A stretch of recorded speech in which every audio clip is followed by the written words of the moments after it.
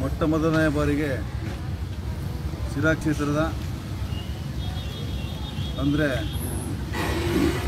ಮೊನ್ನೆ ನಡೆದಂಥ ಒಂದು ಮಧ್ಯಂತರ ಚುನಾವಣೆಯಲ್ಲಿ ನುಡಿದಂತೆ ನಡೆದುಕೊಂಡಂಥ ಮಾನ್ಯ ಮಾಜಿ ಮುಖ್ಯಮಂತ್ರಿಗಳು ಯಡಿಯೂರಪ್ಪನವರು ಇವತ್ತು ನಮ್ಮ ಕಾಡುಗಲ್ಲ ಜನಾಂಗದ ಒಂದು ಅಭಿವೃದ್ಧಿ ಮಂಡಳಿ ಮಾಡಿದ್ದಾರೆ. ಶಿರಾದಲ್ಲಿ ಇವತ್ತು ರಾಜ್ಯದಲ್ಲೇ ಮೊಟ್ಟ ಮೊದಲಿಗೆ ಅಭಿವೃ ಕಾಡುಗೊಲ್ಲ ಕ್ಷೇಮಾಭಿವೃದ್ಧಿ ಮಂಡಳಿ ಮಾಡಿ ಇವತ್ತು ಶಿರಾದಲ್ಲೇ ಮೊಟ್ಟ ಮೊದಲಿಗೆ ಇವತ್ತು ಅಧ್ಯಕ್ಷನ ಆಯ್ಕೆ ಮಾಡಿದ್ದಾರೆ.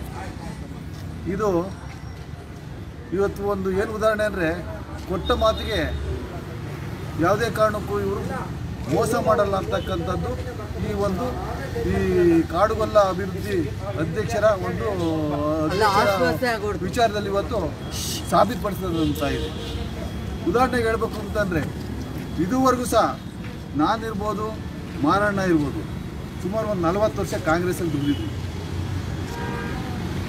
ರಾಜಕೀಯ ಧ್ರುವೀಕರಣ ಹೆಂಗಾಗ್ತಿದೆ ಅಂದರೆ ನೋಡಿ ಯಾರಾದರೂ ಒಬ್ಬರು ಅಧಿಕಾರ ಪಡಿಬೇಕು ಅಂದರೆ ಒಬ್ಬರನ್ನು ಸೋಲಿಸ್ಬೇಕು. ಇಂಥ ಒಂದು ನಿದರ್ಶನ ನನ್ನಿಂದ ಮಾರಣ್ಣಿಂದ ಇನ್ನು, ಅಂದರೆ ನಮ್ಮ, ಇನ್ನು ಸಹೋದರಿಗಳು ಭಾಳ ಜನ ಇದ್ದಾರೆ. ಇದು ಇಂಥ ಒಂದು ಉದಾಹರಣೆ ಆಗಿದೆ ಇವತ್ತು. ಏನಾಗಿದೆ ಈ ತಾಲೂಕಲ್ಲಿ? ಎರಡನೇ ಎಣ್ಣೆ ಎರಡನೇ ಹಂತದ ಲೀಡರ್ ಇವತ್ತು ತಾಲೂಕಲ್ಲಿ ಯಾರೂ ಇಲ್ಲ, ಕಾಂಗ್ರೆಸ್ಸಲ್ಲಿ. ನಾವು ನಮಗೆ ಕೊಟ್ಟಂಥ ಮಾತು ನಡ್ಕೊಂಡ ಹಾಗೆ ನಮಗೆ ಮೋಸ ಮಾಡೋದ್ರಿಂದ ನಾವು ಇವತ್ತು ಕಾಂಗ್ರೆಸ್ ಬಿಟ್ಟು ಇವತ್ತು ಬಿ ಜೆ ಪಿಗೆ ಬಂದ್ವಿ.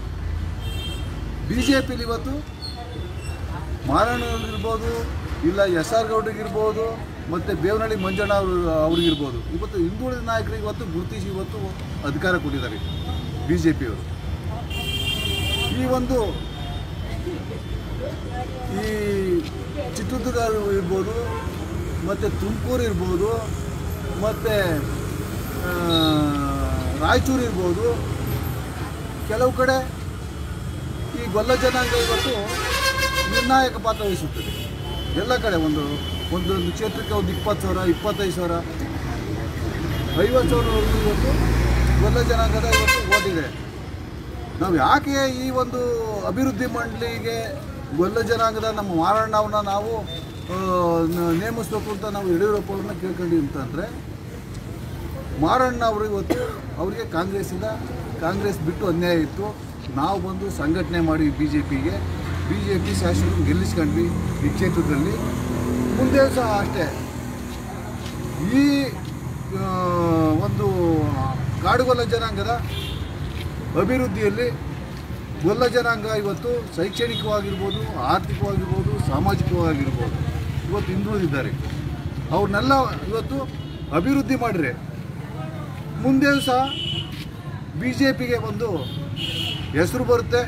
ಬಿ ಜೆ ಪಿಯಲ್ಲಿ ನಾವು ಯಾವಾಗಲೂ ಸಕ್ರಿಯವಾಗಿ ಭಾಗವಹಿಸಿ ಮುಂದಿನ ಒಂದು ಬಿ ಜೆ ಪಿ ಏಳಿಗೆ ನಾವು ದುಡಿತೀವಿ ಅಂತ ಹೇಳ್ತಾ ನಾನು ನಿಮ್ಮಲ್ಲಿ ಹೇಳ್ಕೊಳ್ತಾ ಇದ್ದೀನಿ.